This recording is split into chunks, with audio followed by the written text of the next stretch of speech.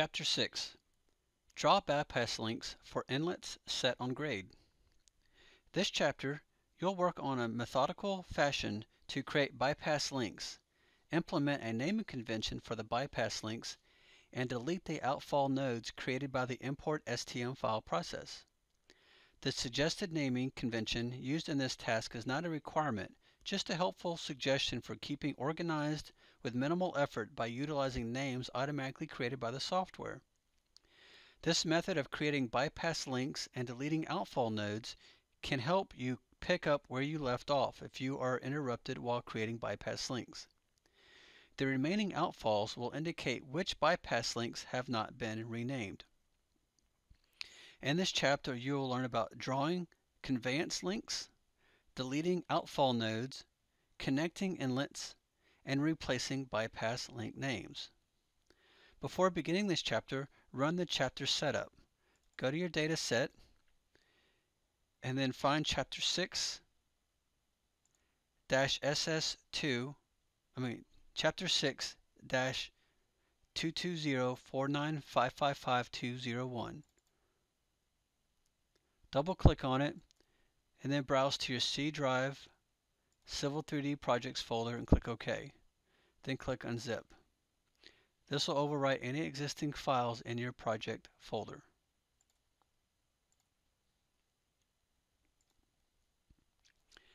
Exercise 7.1 Draw the convenient Draw the conveyance link from upstream to downstream inlets. Inlets on grades do not capture all the runoff. Some runoff will continue along the gutter of the roadway to the next downstream inlet. This gutter flow is called bypass flow. To access this behavior, you must hydraulically connect upstream and downstream inlets with a bypass link. A bypass link is a conveyance link just like a pipe is a conveyance link. For all bypass links in this manual, Set the shape to direct in the conveyance link dialog as shown in the example. In our examples, using the direct settings will simplify our workflow. Double-click on the icon on your desktop for Autodesk Storm and Sanitary Sewer Analysis.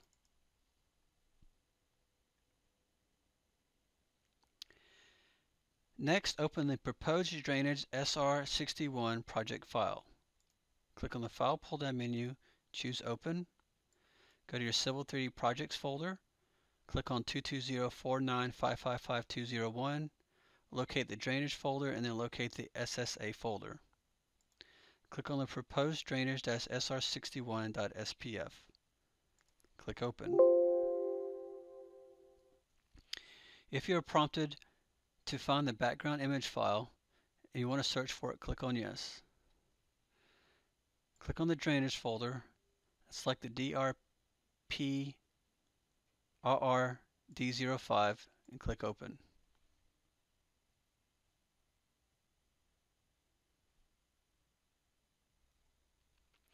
From the Elements toolbar, select the Add Conveyance Link command.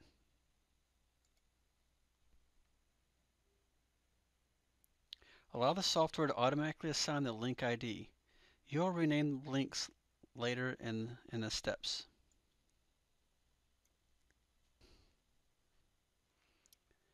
First, locate S9 and then locate S8.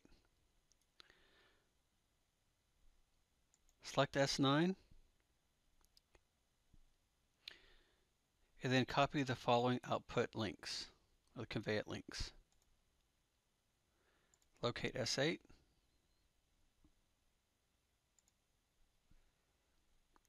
Next, locate S10.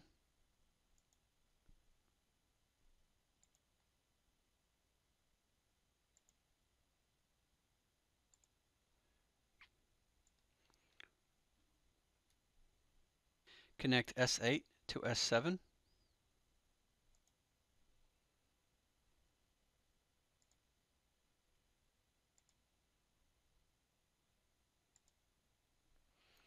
Then connect S11 to S12.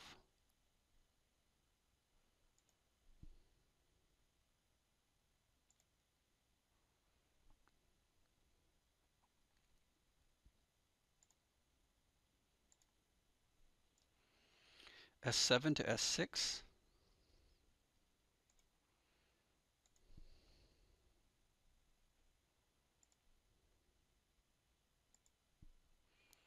S11 to S12.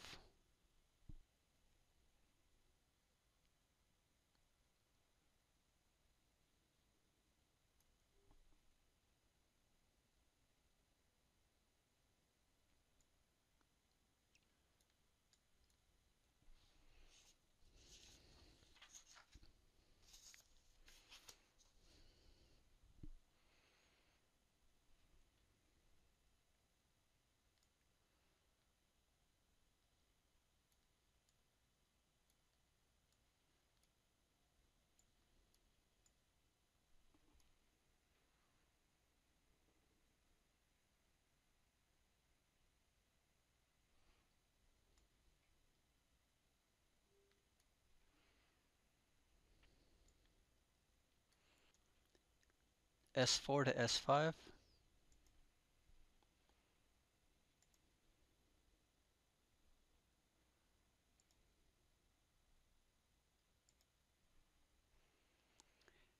S13 to S12.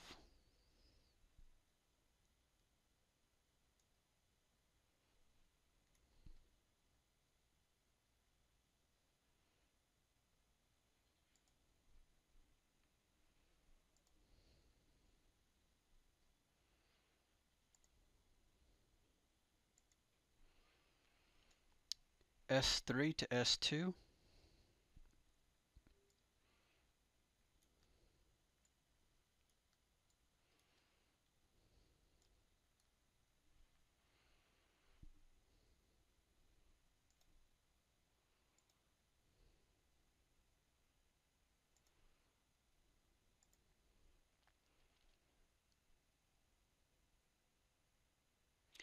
and S1 to S2.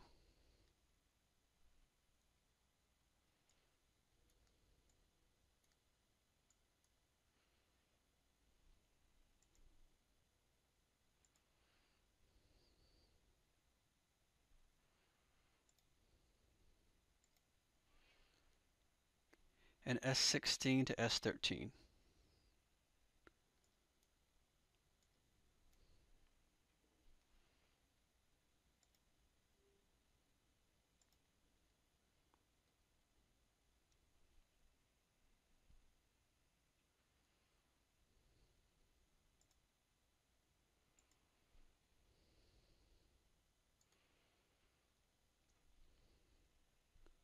Press escape to end the command and then save your SSA project.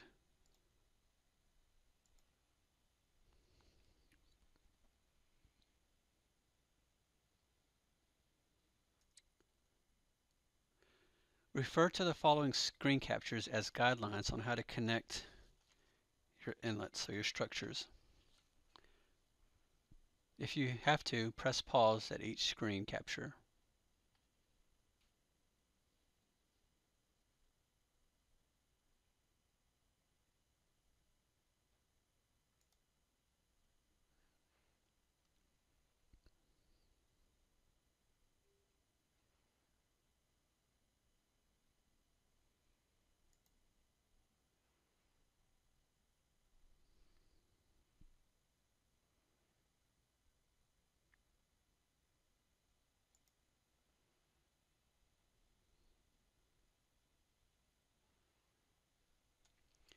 Exercise 6.2. Replace bypass pass link name with outfall conveyance link name. Link 02 is drawn from S10 to S11 as is pipe dash 9. Notice the name of conveyance link L pipe 9 to outfall offsite 3 is similar to the name of the pipe 9.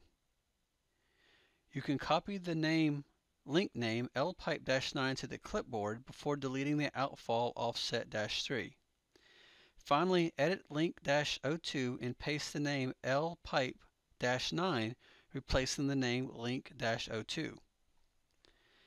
Now use the step-by-step -step process below to experience this workflow. Double-click the LPipe-9 to open the Conveyance Link dialog box. Highlight and copy the link ID LPipe-9 to the Windows clipboard.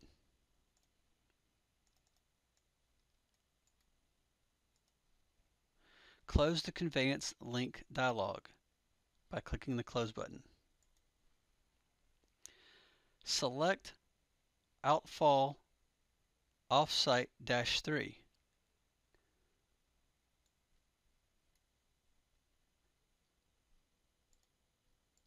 Then right-click and select Delete. From the dialog box, click Yes to delete Offsite-3. Double-click the Link 02 Conveyance link to open the Conveyance Link dialog.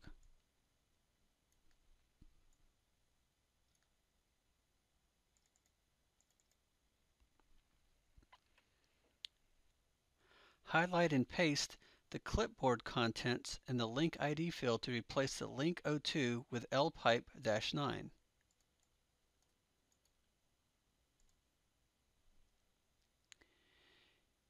Change the shape to direct and then click the close button.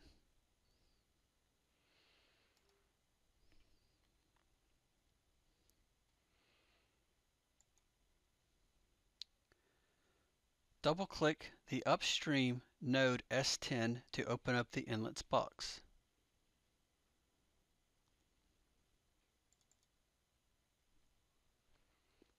Verify that the roadway gutter bypass link is set to L pipe dash 9.